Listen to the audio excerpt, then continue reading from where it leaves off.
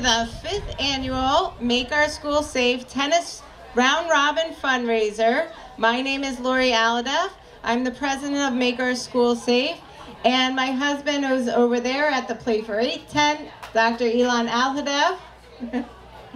We're so excited today. We're so happy it's not raining, and that we are here to have some amazing competitive tennis for our fifth annual Make Our School Safe tennis fundraiser. And we just greatly appreciate you being here, supporting Make Our School Safe. Um, when you have some time, come over. There is a beautiful memorial for the 17 over here.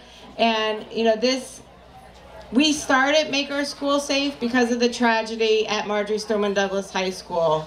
And our daughter, Alyssa Alhadeff, She's watching us now, and I hope she's proud. You know, two main things that we do is pass Alyssa's Law, which is panic buttons in school so that if there is a life-threatening emergency, whether it's a medical emergency or an active shooter situation, the teacher can be empowered to push a button on their phone and it's directly linked to law enforcement.